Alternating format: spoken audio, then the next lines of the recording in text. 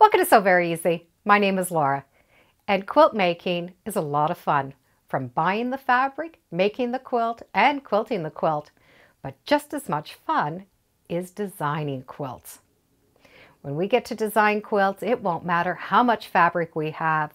It all is in a design. We can constantly change our mind, use less fabric or more fabric, change in a lot of different colors. It won't matter because it's all just a design. I design most of my quilts in a computer software from Electric Quilt. It's so much fun because we get to change our minds as many times as we want. And every time we change our mind or change the fabric, we get a new design. Let me show you how fun it is and how addicting it is using a computer software to design quilts. Electric Quilt Company has been around for a long time. And I have been using the number 7 version until their most recent one, which is Electric Quilt 8, so we call it EQ8. And today I'd like to share with you some of the great features of this computer software. The first thing is how do you get the computer software? If you have an earlier version of any of the electric quilts, you can upgrade to a number 8. To get to the website, it's really easy. We just need to type in electric quilt and the electric quilt company will come up. And along with that, there are videos and there's a blog and it's just as easy as going shopping. Just click on that and we have a choice of what we want to shop for. I can click on that eight and it's going to give me some options. I can upgrade it, buy it out flat, and choose if I want it for a Mac or a PC. You're not going to get a program in the mail. It's all going to come electronically and you get to download this electronically quick right away. There's no waiting for it. If you buy the program in a local quilt shop, you'll get it in a box and in that box, there is no computer program at all. It's just information on how to download that. And at the bottom of this booklet, you're going to see your license number and the password. Once you have that number, you're going to be able to go right into the system. You're going to be able to put this number and this password in. EQ also has a great support system. As a matter of fact, they were kind enough to send me manuals and an updated version of the 8 so that I could share this with you. At the top, you'll also find a part that says, Do you EQ? You can sign up to this about once a month you're going to get an email. And it's going to give you pattern downloads or fabric downloads or special events that are going on. And once you have it on your computer, you're going to be able to open it up. And this system is downloaded right into your computer. So you can take this wherever you go. Even if you don't have the internet, you can work and save right in this program. When you open up the front page, we have lots of different options that we can do. And the first tab that opens up is Get Started. So here we can actually go in and design quilts and blocks. If we click down one and click on Learn, it gives us some great helpful hints, great articles, lessons that are built right into this program, lots of videos that we can follow along, and it also gives you a quick start guide. That quick start guide is what you would get in that hard copy if you were to buy the program from a quilt store. But this is exactly the same thing as what's built in. So you don't even need to bring this or have this. It's already here whenever you need it. From here, there are classes you can register for. And the other thing you'll have is a reference manual. And that reference manual is a big book that's built right in. When I open it, I'm going to be able to do lots in here. I can download the information, but I can also search for the information. If you like to have paper, you can get the exact book in a book format. The book format is exactly the same as what's in the computer. I personally still love my books. I like to be able to open up that book and have it beside me as I'm trying to do something. So built into that computer, we already have all this great information. I can design a quilt right from the beginning. I can open an existing project that I've already worked on, design a block right from scratch, and search for block patterns, import information, and fabric. If we're going to search for a quilt block, there's over 6,000 of them built right into the program. They also have a book that has a picture of all of the blocks that are in this program. There's a great feature that says start with a quick project. And that's a lot of fun to start with. Or it's even a fun feature if you don't have a lot of time and you just want to design. Once I click onto that, it's going to give me lots of different options. There are easy quilts, log cabin quilts, medallion quilts, New York beauties, lots of different quilts to start with. There's even one here that says quick labels. So these give you different labels that you can put on the back of the quilt. And there's more than one. All we have to do is have that arrow search for more. We have all sorts of different labels that we can use. So let's start with the very first one, which is Easy Quilts. And by clicking on that arrow, I have more than one even in that category to change. And by clicking that edit button, what it does is it opens up this area that I'm going to be able to do whatever I want with this quilt. On the side, it gives me a lot of different choices that I can do to work on this quilt. It does have the two blocks that are in the quilt. The other blocks are blocks that were in that series. On the top, there are a lot of different tools I can use. And the tools are really quite self-explanatory, which makes this really user-friendly. Do I want to set a new block in and replace one? Do I want to erase a block, rotate a block, and so on? So let's use the Set Block tool and replace the center block.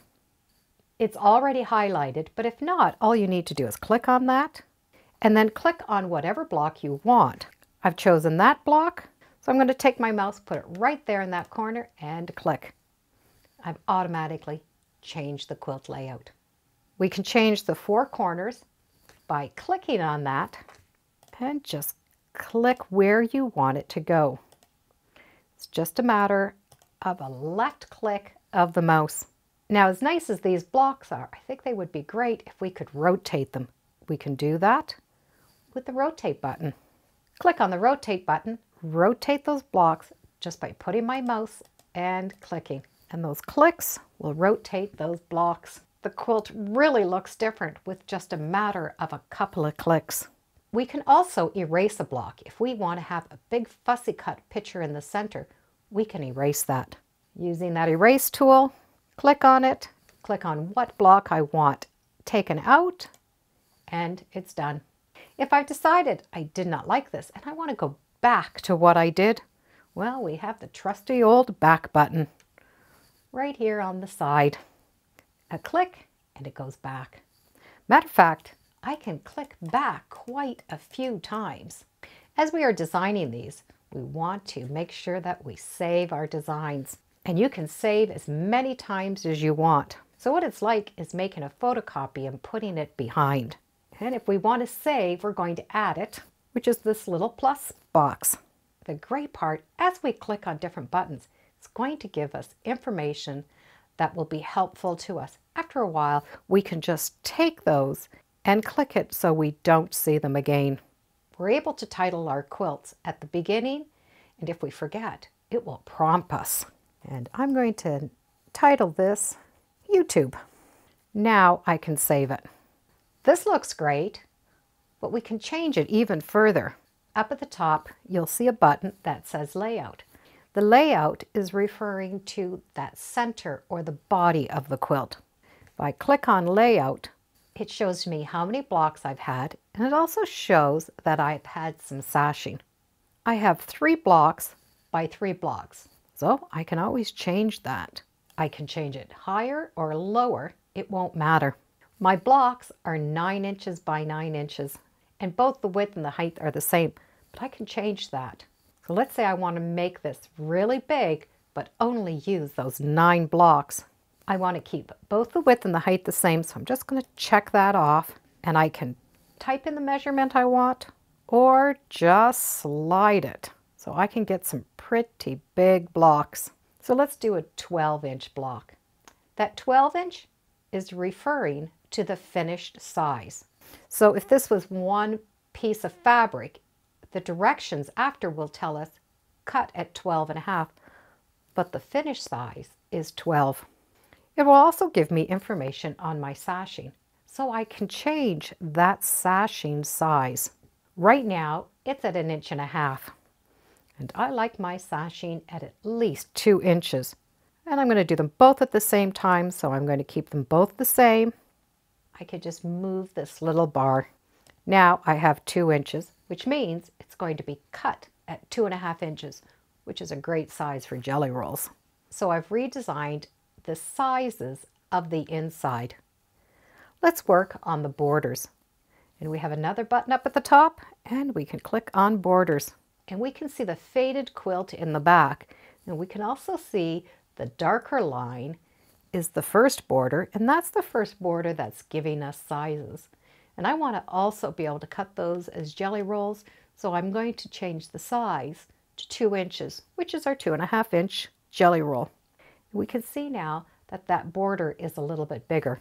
To work on the second border, I can click an arrow, so it's changed it from the first border to the second border, or I can very simply just click onto that border and all of this information will come up. Now I have a three inch border. Three inch border is nice, but I still want it a little bit bigger. I have all clicked and I'm going to be able to drag this right over to whatever size I want. And built into this information panel, it tells us what size that last border and the quilt will be at. I love nice big borders, so I've changed it to five. I can change how I want those borders to be right in this area. I can change them so they're going to be mitered. I can change it so I have corner blocks. Long vertical, long horizontal. I can have blocks and so on. And there's a little arrow here that I'm going to be able to get more designs. Let's put some corner blocks. And I'm going to do the corner blocks to the first border also. So I'm just going to click onto that first border and then go click onto the corner blocks. Now I have the quilt with two borders and both those borders are going to have those little corner blocks. From here you can see how different that quilt already looks with the different borders and that larger sashing. I could have taken that sashing right off if I wanted to. And that would change it even still. Before I go any farther, I do want to save this version. So I'm going to go back up and save it. And that little woofs means that it's saved. From here, it'll be fun to try different fabrics or even different colors. So I'm going to be looking for my fabric tool.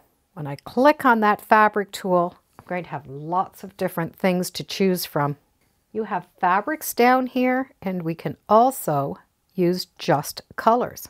At the beginning, we only see a small screen, but we can make that a lot bigger.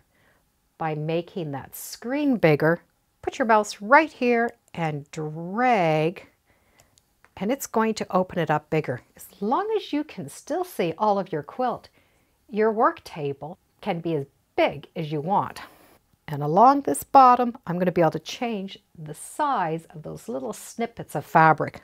I can make them very small and I can make them very big. I can now take the fabrics or the colors and the tools at the top will help me color in my quilt. So let's start with the paintbrush. From here I can choose a color. So let's start with that purple that is right there on the screen and click and it changes the color. Now I can go and manually click all of those or I could swap all of the colors click that blue and it changes all of them. As I start using the fabrics, it's going to line up the fabrics that I have been using. There is really a fun thing that I love using in this color selection, and it is a button that will randomly color the quilt in for us. But the whole idea is you're just going to click right on that quilt, anywhere on the quilt. And it sort of looks like a little magic wand. And that quilt, with every click, changes the color. This is a lot of fun to do. It gives us a lot of different color variations where we might not have originally thought to put them that way. If you come to one you like, save it. The quilt that we see is the quilt that we're working on. Even though we have some that have been saved in our workbook, it's only the one we're working on that is visual. So we need to go and find it. So we're going to find it with a pair of glasses and a book because we're looking for our notebook. Just click on our notebook and they're going to come up. We have a scroll bar along the bottom. We're going to be able to scroll and see all of those quilts that we've been working on. Any quilt in the file can be reworked on. So we can design more than one quilt in each file. Once the quilt is designed, we can now find out how much fabric we're going to need. This is my favorite part, and that way I know that I have enough fabric, or I will know how much fabric to buy. And right up here at the top, it says print and export. It's not going to print the pattern right away. It's just going to give me different options. The first thing I want to do is find out my yardage. And from here, I get to decide, am I going to use yardage? I can even choose fat quarters if I'd like. Now that I know my fabric, I can go in and print that, or I can close the screen and make changes. I can also print out the quilt design. So we need to select them so we let the computer know what we have in mind. So we're going to start with the Ohio Star. To put the mouse over top, give it a click. You can see that it has been highlighted. It also opened up the rest of the windows. From here, I can print out cutting sizes, templates, foundations, all sorts of information. I'm going to start with the rotary cutting designs. And I do like to preview it first. Here is the printout of the block and the block pieces I'm going to need. So my block A, it tells me exactly how big I need to cut it. It tells me my cutting size and how many patches I need of each size. Let's check out this next block. I personally like to preview everything first, and then when I know everything is right, then I print them. So we've covered the blocks from here, we're going to be able to figure out the sizes of the sashings. Just click on the piece and it's telling me it's 12 inches by 2 inches. This measurement is my finished size. I just need to add the seam allowance. I'm going to print out some of these pictures and I'll show you what they look like and I'll show you how I like to make notes. And what you see on the screen is what is going to print out. The next thing I like to do is print this page, but without the fabrics or the colors. I click on quilt. It's going to give me that same layout. This time, I'm going to click outline drawing. And what that does is it takes out the color. You're going to see it just looks like a coloring page. This page I consider my at a glance work page. By just clicking on those parts, it's going to give me the sizes. That top border is 48 inches by 5 inches. I know that's the finished size, so I'm making my notes as the cut size. So it'll be cut 48 and a half inches by 5 and a half inches. I will go through highlighting all of my pieces and make the notes on my coloring page. This I find is one of my most valuable printouts. At a glance, I can see all of the sizes I need. I know what the quilt is going to look like. I also print out the blocks that I need, making notes of how many blocks.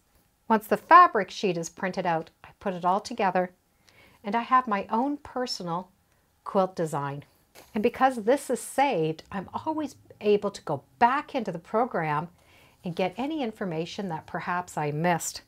I love designing quilts, regardless if it's with paper and pencil or EQ8. The difference is I have the math and the fabric and all of the drawings done for me. It makes it a lot quicker for me to make the quilt. Thank you for joining me today on Sew Very Easy. Feel free to subscribe and as always, come on back. Let's see what we're sewing or talking about next time in the sewing room. Bye for now.